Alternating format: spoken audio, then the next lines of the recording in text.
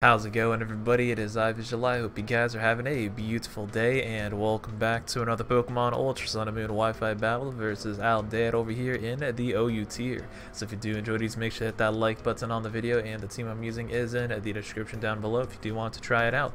Made by John Zera and it's a Mega Lopunny Swellow normal spam with a few bulky mons like Tornadus, Slowbro, special defensive Excadrill, and it's uh, Rocks, Toxic, Rapid set. I like it a lot. It's pretty good for a Tapu Koko, Electric types in the tier, and uh, can catch a lot of people off guard by living some hits. So, we're going to lead off with Lopunny, get a free fake out off as it leads off with Tornadus. I want to see what kind of Tornadus it is. So, Lopunny is pretty much free, always going for the fake out, and just getting a free chip, and finding out what the sets he's running, because I have no idea um, what it could possibly possibly be. There's a lot of different sets.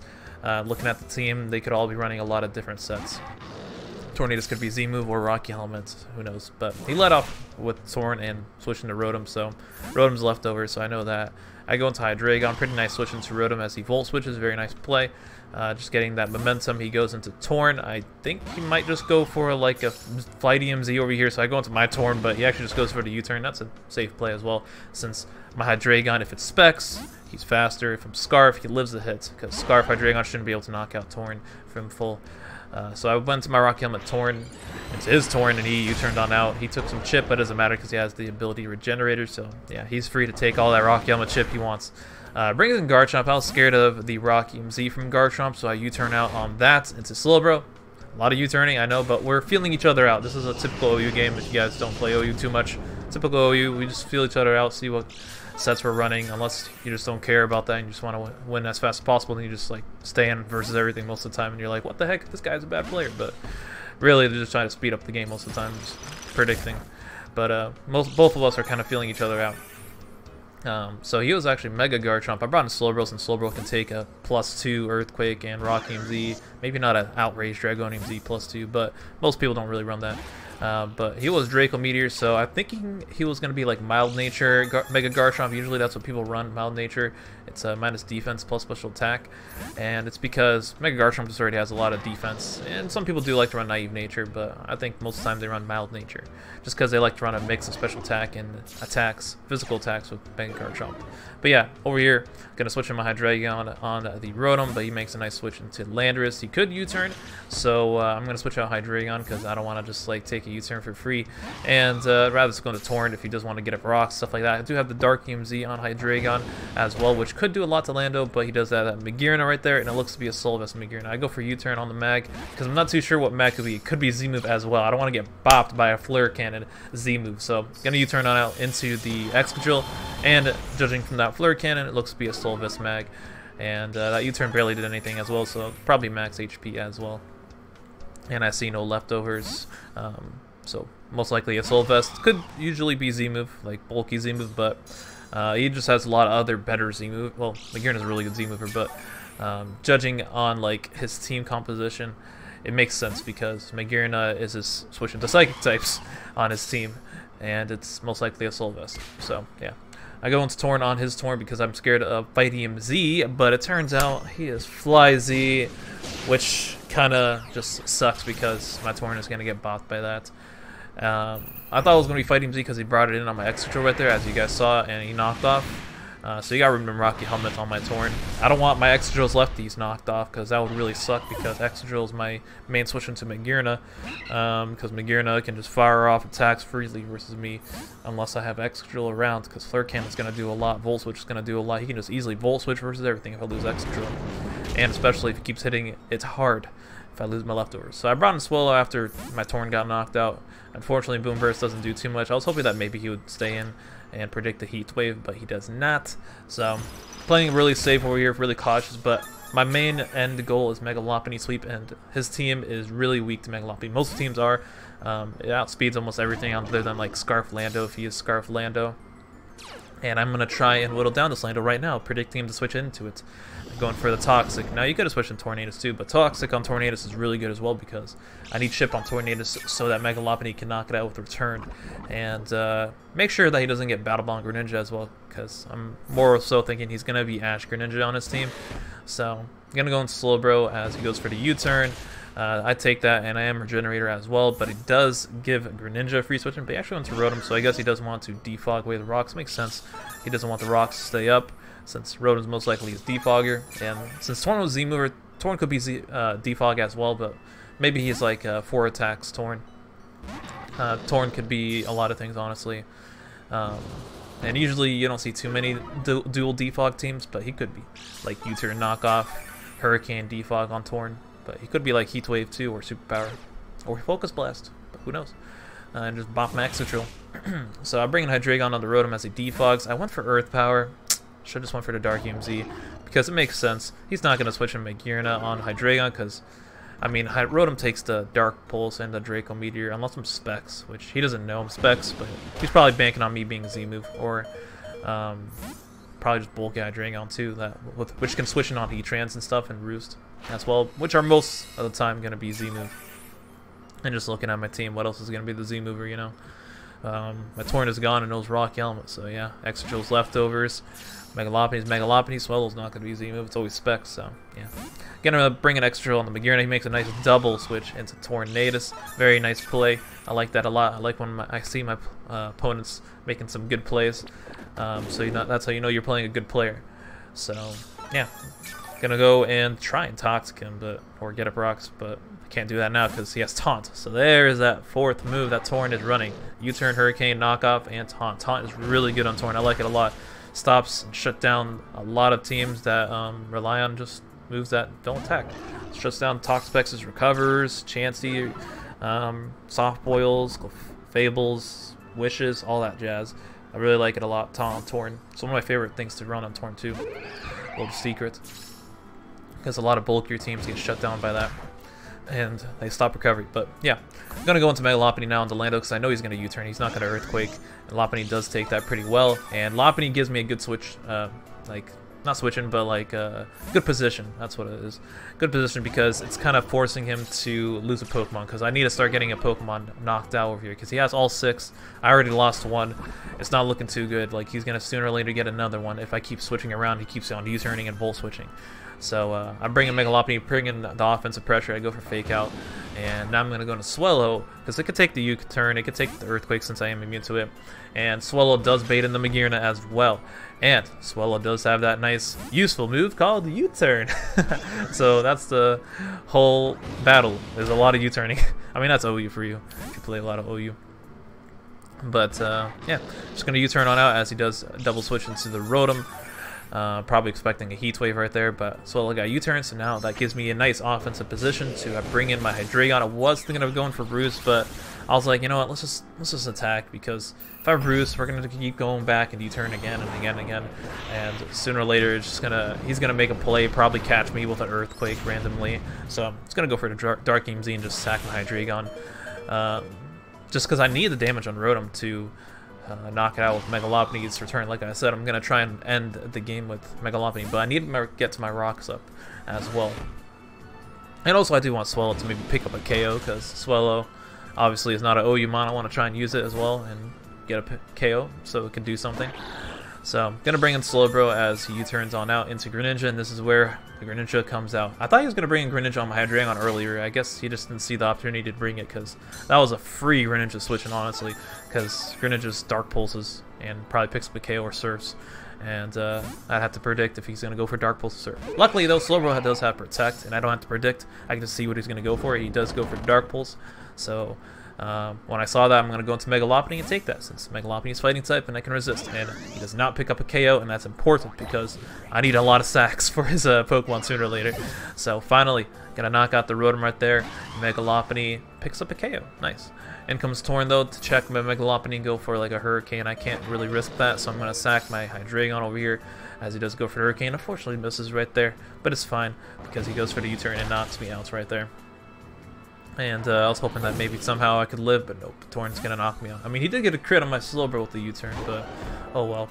So comes Mega Chomp. I'm gonna go into my Mega Lopunny and go for the Fake Out, and hopefully put it in range for a high jump kick, high jump kick because Mega Garchomp is so dang bulky. Judging from the HP, I'm not too sure if it was mild nature. Maybe it's a roll still with mild nature, and he lives. But for some reason, he got a rocks instead of earthquaking.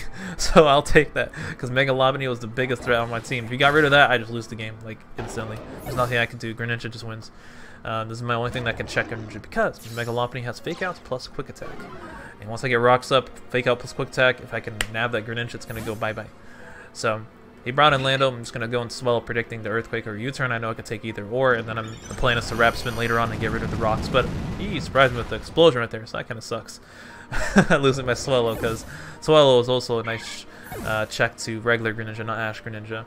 And uh, just does a lot of damage, maybe if I can get a Heat Wave off on Magearna. But that's unfortunate. It also outspeeds Tornadus and can easily KO it with Boom Burst, probably, since it's offensive Tornadus. Uh, so he brought in Greninja, which is awesome, and gives me a nice fake out chip on that. So once I get rocks up, Quick Attack will knock it out, and Quick Attack uh, is faster than Water Shuriken, since Mega Lopunny is naturally faster than Ash Grin. So I'm going to sack Slowbro, since Slowbro doesn't really do much anymore. Slowbro was just there to check any physical attackers and uh, Ice Beam or Scald them. It was really there for like Mega Garchomp and his uh, Lander C. But uh, yeah, uh, couldn't really switch into those things because he could have brought in Greninja predicting Slowbro to come in and just get a KO. So that's why Slowbro, I didn't really like it too much in this matchup. So I'm to go for the return as he just, you know, switches on out because I know he's locked in Dark Pulse, unless he's not to be Specs, but most of them are. Because uh, if randomly, if he just went for Water Shuriken right there and, you know, knocked out Mega Lopunny, that sucked. But luckily he's Specs. So Gonna go into Excadrill, and now it's time to get the rocks up. Now, if he switched out into Torn here, that sucked, because then he could taunt me. But luckily he did not, so he was just sacking Magearna, which makes sense because he doesn't want his Torn to get randomly toxic and then in range of Mega Lopunny, and that'd be bad. Uh, and then I'd for sure win because I need the Torn to probably switch in on Mega Lopunny for him to choke away the game. Uh, or maybe get some type of chip on the Torn. Or critical hit it. That's another option too. critical hit it. Or miss Hurricane because he has to hit a Hurricane to knock out Mega Lopunny. Um, because Gren, he got hit by the rocks. He could never beat my Mega Lopunny with Gren because Quick Attack will knock him out. Well, actually, uh, it might be a roll, actually. Maybe, yeah, probably a roll uh, over here. But either way, he can't switch out Gren because, uh, as you can see, it, that little chip of Stealth Rocks is going to matter where I will knock him out with Quick Attack. So if he switches out the Torn right there, I hit him with the Fake Out, and then Return will knock him out. So yeah, it's going to come down to the Hurricane. Can he hit the Hurricane? He wasn't expecting quick attack too. So return almost knocks out Torn, lives on a sliver, and he misses the 70% accuracy Hurricane. It all came down to that. And that's OU Pokemon for you. It always comes down to those 70% accuracy moves. Focus Blast from Mega Zam.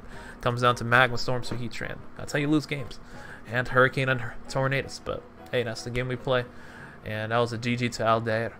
That's unfortunate, it was a really close game. Um, I think he was not expecting the quick attack, most likely, from my Mega Lopunny. He probably just thought he won the game right there with Ashgren with Water Shuriken.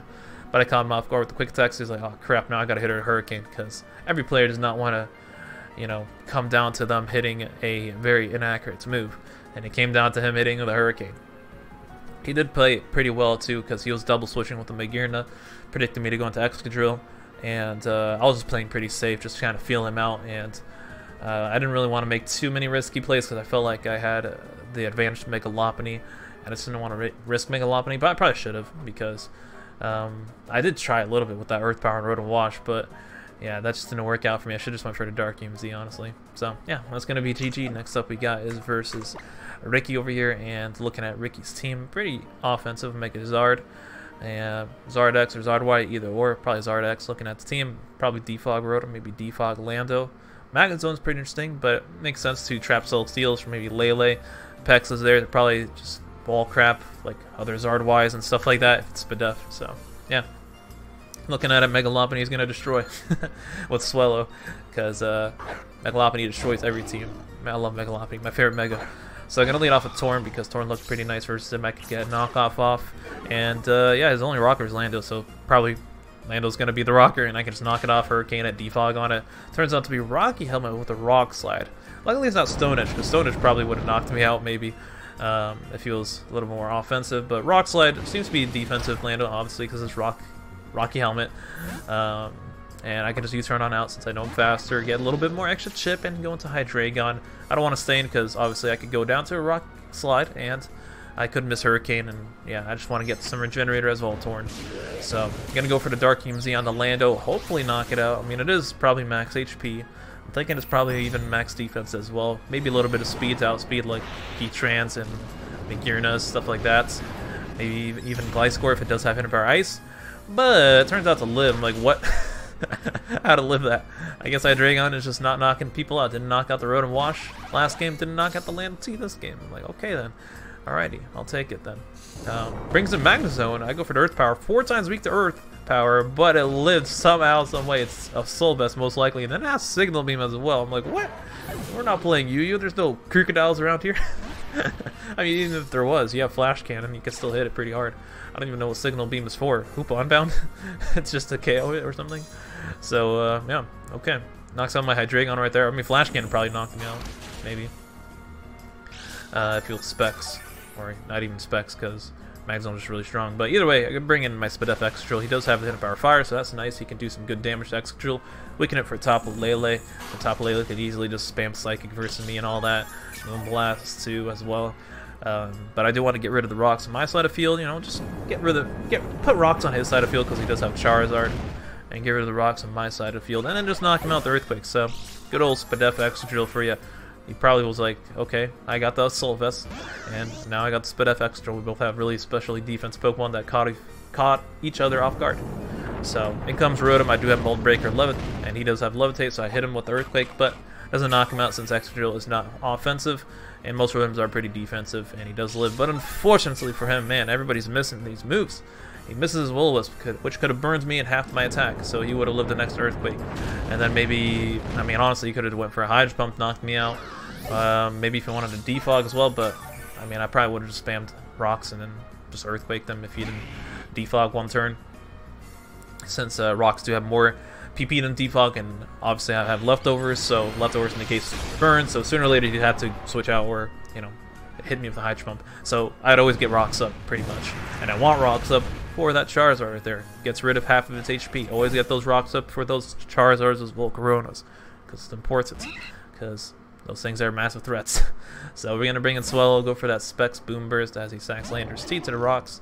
And uh, Specs Boom Burst look pretty nice, unless it's going to be Scarf Lele and just bop me with a Psychic. I'm just going to hope that and pray that he's not going to be uh, Scarf Lele, but he actually brought him Peck, so I guess he's not Scarf Lele. And uh, usually Peck's max special defense, so I should be able to do a lot of damage to it because it just, you know, it's Boom Burst. It's 140 base power move, and Swellow, I think, did get a buff in Gen 7 with the special attack. That's why some people do wonder why you use Specs Swellow over Flame Orb Swellow, because Swellow does have the ability Guts as well, and it could uh, double its attack with its status, like Burn. Um, but Swellow, Specs, like, they're both really, really good.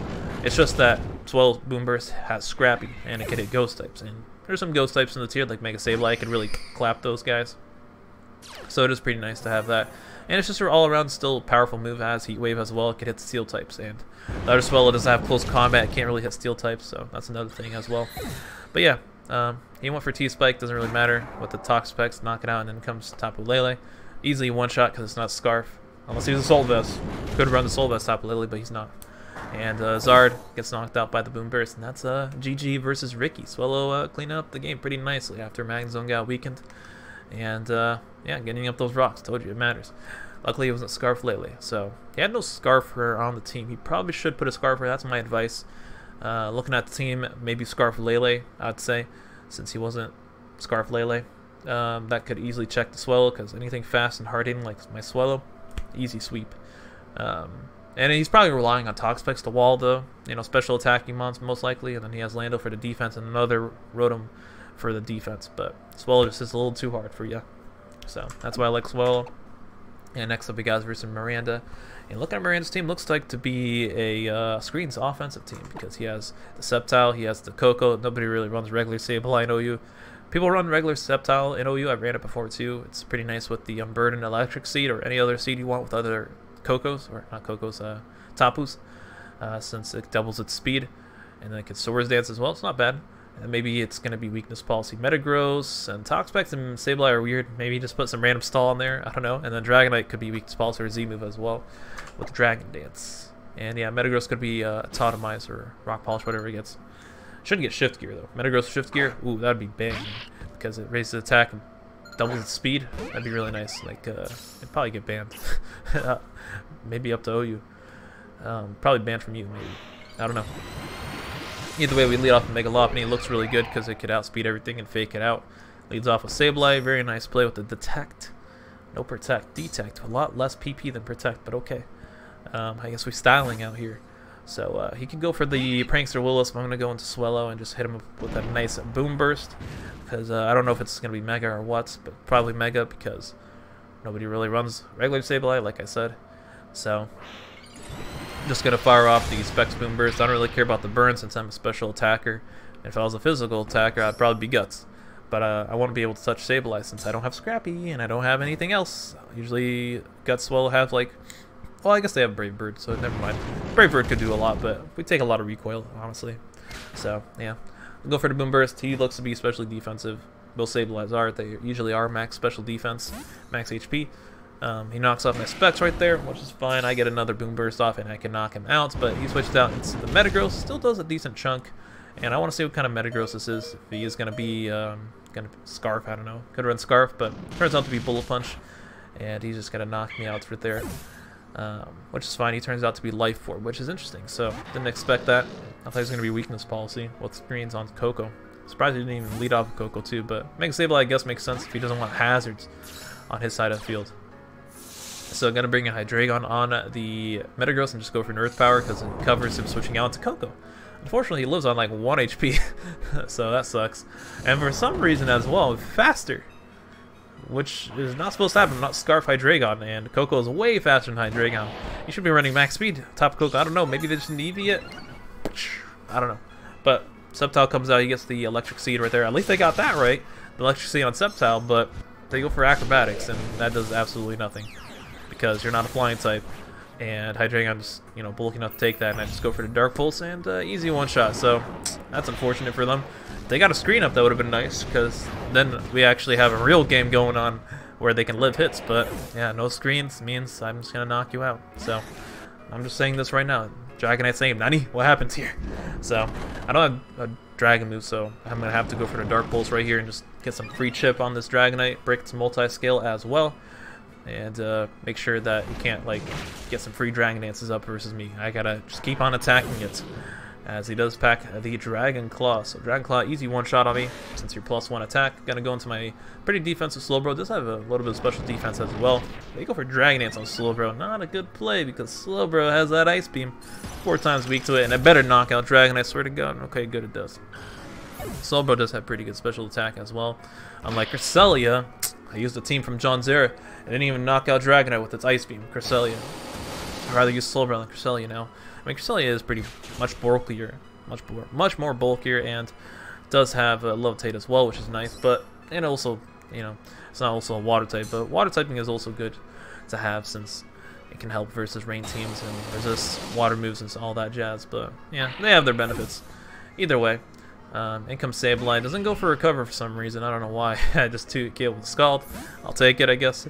In comes Pex. I'm like, okay, I can't really do much to Pex since I don't have a Psychic move. I don't, I can't Toxic or anything like that. I don't have Toxic. I have Scald, Ice Beam, Protect, and uh, Slack Off. So yeah, just gonna switch on out into Torrent and just go for knockoff. But turns out it'll be Z move, Z Toxic, Poison Z. I'm like, okay, you got some really interesting sets. I thought Dragonite was gonna be Z mover, and I thought I was gonna go for a Z move on my Slowbro, and I'll tank it and just Ice Beam you. But no, and I went for knockoff because uh, I forgot it was Z move. That's what happens when you uh, Wi-Fi. Sometimes you don't pay attention. And usually I'm so used to clicking knockoff on Toxapex, it's just natural to have it. I'm just like, alright, knock off Toxapex, get rid of Titan, real, really quick. And then uh, I'm just going to click Hurricane until I'm forced to switch out from like Toxic and all that. So, yeah. Goes for the Baneful Bunker, I'm just going to try and stack my Torn and just click Hurricane because Pex is just going to get annihilated from anything I have in the back, honestly. I go to Excadrill, it's going to click Earthquake. And uh, yeah, he's just going to forfeit the game over here, I remember, because I think all he had left is Metagross, and uh, Metagross gets bought by Earthquake as well. So, yeah, and a Mega Lopunny in the back. But, I don't know, maybe you could have played it out, because who knows, maybe I miss moves, maybe you live hits. It's Pokemon. You never know, but yeah, that Koko needs that speed, I'd say that for sure. You need that speed on Koko, and maybe take off Toxapex and Sableye on a hyper offensive team like this. This is, a, you know, doesn't work well. Um, I can understand it a little bit because you know you want to take hits, and Sableye does stop the hazards for Dragonite as well, and just for any other Pokemon in general. But you can stop with a taunt and stuff like that. You know, put a taunt Koko on there.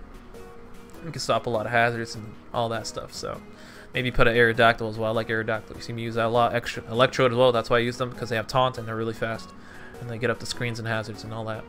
But Koko's good because it has that electric terrain and stops sleep and helps out unburdened mons. So yeah, that's gonna be it. Hope you guys enjoyed. Make sure to leave a like, comment, subscribe, do a thing, and uh, follow me on Instagram and Twitter. And thank you guys for 60,000 subscribers. We just hit that, man. That's crazy. Maybe we'll uh, hit 75k before the end of the year. Hopefully, that'd be awesome. I'm getting like 25k, around 25k like every year for the past two years. I've been doing YouTube, almost three years. It's because I started in 2017. Well, technically 2016 with uh, other video games, but nobody watched that until I started Pokemon in, in 2017 with uh, Battle Tree. So, yeah, thanks for watching, and uh, have a good day. Peace, peace.